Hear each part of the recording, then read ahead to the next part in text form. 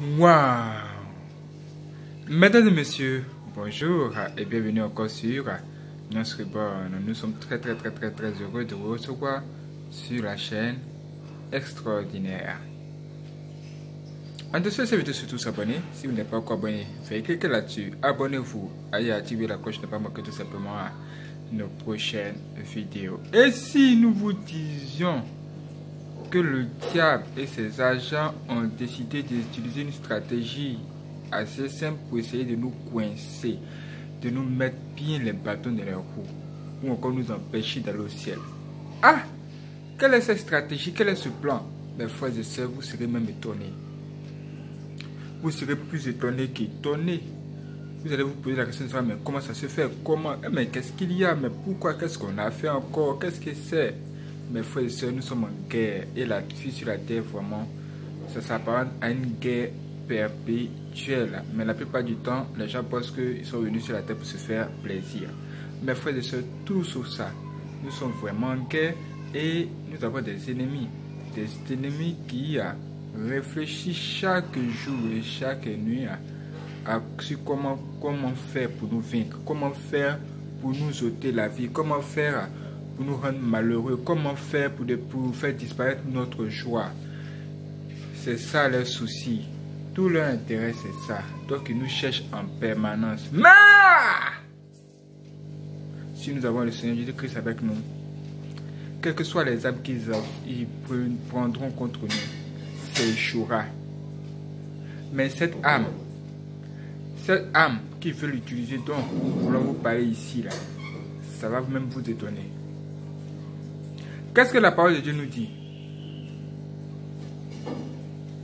La parole de Dieu nous dit que avant de venir te positionner devant Dieu et de prier, il faut préalablement avoir réglé tes problèmes avec ceux qui sont autour de toi. Ça veut dire quoi? Ça veut dire que si tu as mal dans le cœur, tu as gros sur le cœur contre quelqu'un, qui est dans ta famille ou bien autour de toi, ou même dans ton lieu de travail, toi tu dois tout faire pour essayer de régler le problème le plus rapidement possible. Vous devez vous entendre, vous devez tout mettre en œuvre pour vous pardonner. Parce que si tu ne le pardonnes pas, si tu viens devant Dieu et que tu fais une prière pour demander d'abord pardon à Dieu pour tous tes péchés, Dieu ne va pas tout simplement associer ta prière. Il ne te pardonnera pas ton péché? Est-ce que vous comprenez? Je pense que oui. Ça veut dire que Dieu, il pardonne les péchés de ceux qui pardonnent aussi à leur prochain. Qui pardonnent la faute de leur prochain. Par exemple, ton mari t'a trompé, ça te fait mal, tu as gros sur le cœur, tu peux pas, tu dis non, cette fois je ne peux pas lui pardonner je ne peux pas lui pardonner, vraiment c'est chaud, c'est chaud, c'est chaud, c'est chaud. Avec tout ce qui s'est passé là, vraiment, moi, moi j'ai du mal, je ne vais pas lui pardonner. Ah, regarde ce qu'il m'a fait, il m'a trompé. Et toi, tu as gros sur le cœur. Nous allons te dire, si tu vas dans cet état-là, défends Dieu et tu dis, Seigneur notre Dieu, pardonne-moi mes péchés, il va te dire, qui va t'entendre, il va t'écouter. Mais comme la parole de Dieu dit, que nous devons d'abord pardonner à nos prochains afin que Dieu nous pardonne. On dit quoi On dit Seigneur notre Dieu, pardonne-moi mes péchés comme je pardonne à mon prochain. Ou encore à ceux qui m'ont offensé. Pardonne-moi mes péchés comme je pardonne à ceux qui m'ont offensé. Si tu n'as pas encore pardonné à ceux qui t'ont offensé, ça sera difficile pour toi de voir ta prière être exaucée. Et ça, ça bloque la prière de beaucoup de personnes. Et les sorciers ont vu ça. Et le diable a vu ça. Et les démons ont vu ça.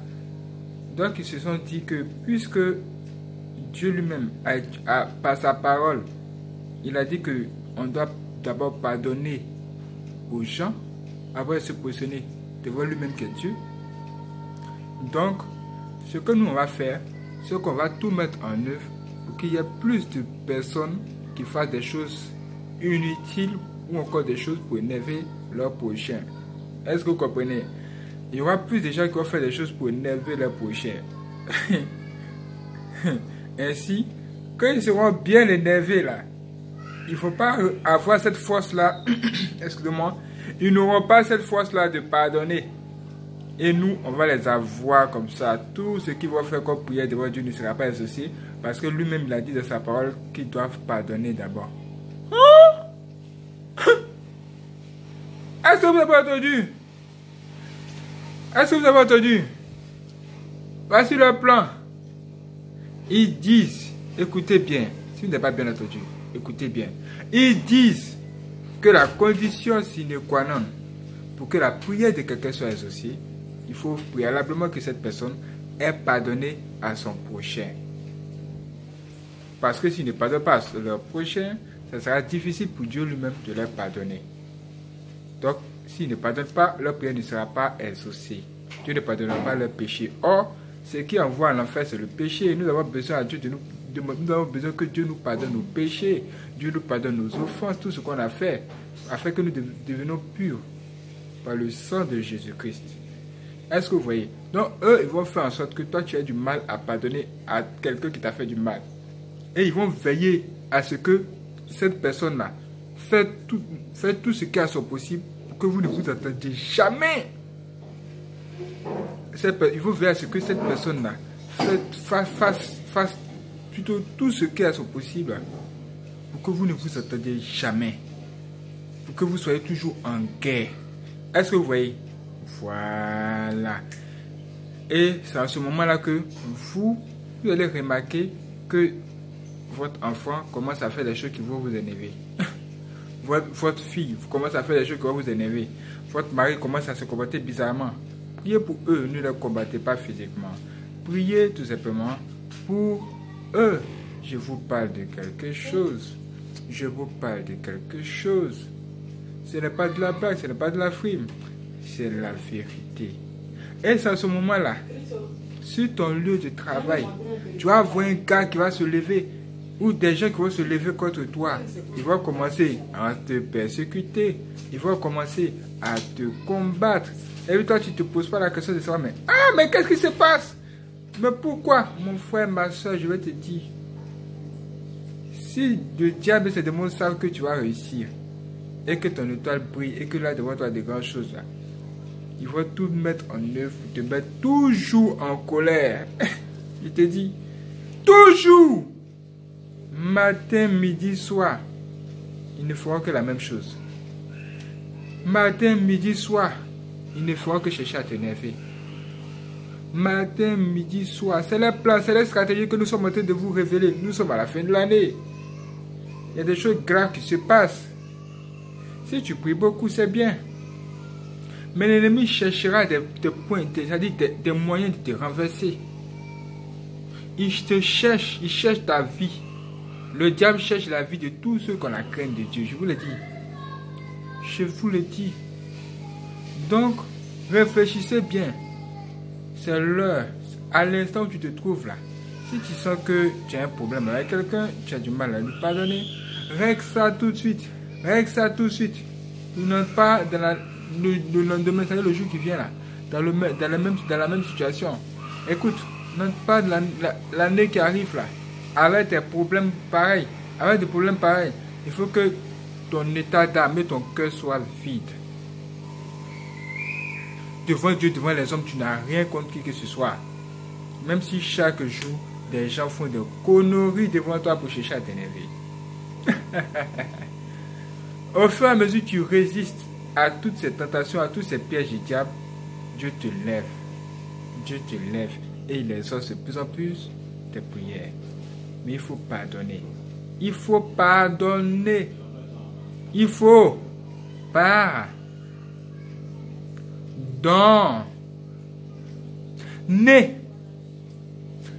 C'est ce qu'il faut faire. C'est dur, c'est difficile. Mais il faut le faire. Tu dois le faire. Ça ne sert à rien de garder ça dans ton cœur. Et à cause de ça, ça va former un blocage. Et tu ne pourras pas euh, aller au ciel. Ou tu ne vas pas voir ta prière être exaucée. Les démons, les sorciers le savent. Vous allez voir, il va faire un truc bizarre. Le sorcier va faire un truc bizarre. Et il va tout mettre en œuvre pour que vous vous, vous, vous mettiez toujours à parler de cela, à parler de cela, à parler de cela. Il fait toujours des choses bizarres. Il fait toujours du sale. C'est lui toujours qui met les gens en colère dans la famille. Et il veut qu'on en parle. Il veut qu'on parle de ça en permanence. Parce qu'il sait qu'au fur et à mesure que vous êtes en train de parler de ça, vous vous enfoncez. Oui, vous vous enfoncez. C'est à ce moment-là que vous devez confier, confier tous vos projets, tout ce qui vous arrive à Dieu. Oui, nous avons besoin de Dieu. Nous avons besoin que Dieu nous aide. Je vous parle de quelque chose. Tournez le regard vers Dieu et oubliez tout ce qui s'est passé dans votre vie. Tout ce que vous ont fait du mal. Si c'est ton, ton mari qui t'a trompé là, faut dire franchement, il m'a trompé. Mais le salut est personnel. Si tout de suite tu perds la vie à cause de ce problème de pardon que tu as dans le cœur, tu n'iras pas au ciel. Donc il faut tout mettre en œuvre pour te, libérer. Il faut dire c'est pas grave, il m'a trompé, c'est pas grave. J'ai compris. Mais je lui pardonne aujourd'hui. Je te pardonne. Je te pardonne. Il y a un homme qui était défiguré. On l'a agressé, il était défiguré. Un homme pareil qui a perdu la, beauté de son visage. Qu'est-ce qu'il a de plus possible à offrir à qui que ce soit? C'est ce que beaucoup de personnes disent. Ah, c'est fini pour lui. Ne me va pas la bouche, vous dit, il est fini. Comment ça, tu es fini? Tant que tu vis et que tu es sur la terre, que ta vie est entre les mains de Dieu, tu ne seras jamais fini aujourd'hui, tu ne seras jamais fini demain. C'est comme ça, c'est. c'est comme ça, ça se passe. Ah, et cet homme a été défiguré et là, il devait maintenant faire un effort pour pardonner à tous ceux qui. Ils ont fait ça. Rien que pour que son cœur soit libéré. Parce qu'à un moment donné, ça devenait lourd pour lui. Il avait emmagasiné tout ce chagrin-là, toute cette colère-là dans son cœur. Aïe, c'était chaud pour lui. Et que la rencontré Dieu, Dieu l'a déchargé de ses fardeaux. Et la meilleure façon de décharger ses fardeaux, c'est qu'il pardonne à son prochain. Et il apprenne à pardonner à tous ceux qui lui ont fait du mal. Mes frères, ça c'est nécessaire. C'est nécessaire. Avant de aller plus loin, pour la prochaine vidéo témoin, de type témoin puissant, nous voulons vous dire toutes ces histoires pour vous dire, mes frères et sœurs, priez beaucoup. Priez vraiment beaucoup. Mais apprenez d'abord à pardonner. C'est le mot clé cette vidéo. Merci d'avoir regardé cette vidéo. Que Dieu bénisse, frères et sœurs. Nous sommes toujours, nous sommes toujours connectés et nous sommes en train de travailler. Les témoins puissants vont venir. Il est probable que nous ayons un live, un live spécial et ça c'est sûr. Le 24 décembre prochain à 19h GMT. Soyez prêts, mes frères et sœurs. Ça va être chaud. Pardonnez à, vos prochains, mes frères et sœurs. Si vous êtes prêts à pardonner et que vous êtes vraiment d'accord, vous, pouvez, vous, vous, vous, voulez vraiment faire un effort, cliquez sur j'aime. Faut dire, je vais faire un effort. On ne te dit pas de te réconcilier, on ne te dit pas de, te remettre, de, de, du genre marcher avec tes, ennemis comme d'habitude. On dit il faut vider ton cœur, il faut dire Seigneur mon Dieu, je les pardonne, c'est tout. Mais si ce sont tes ennemis, ils le resteront. Tu n'y peux rien. Mais il faut pardonner et marcher seul sur le chemin. Toi, te mener vers Dieu, ou encore la croix de Dieu, ou encore la bénédiction que toi-même tu recherches. Ah, hein, parce qu'il y a des ennemis là. Même quand tu les pardonnes, et que tu t'accroches à eux, ils t'enfoncent. Donc tu pardonnes et tu te retires.